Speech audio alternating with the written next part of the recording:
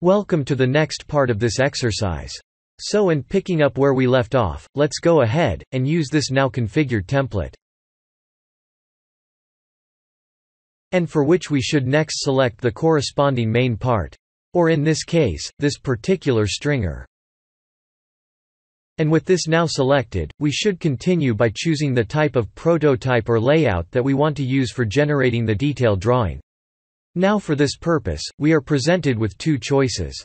Create the prototype using the default settings. Or modifying those settings for creating a new customized prototype. In this case, let's pick the second choice, so we can properly configure the layout that we'll use. So and from this point forward, we can begin to add all the labels and dimensions that we need. Along with any callout and cut views for further detailing this stair. But let's carry on, and obtain next the detail drawing corresponding to one of the railings over the landings.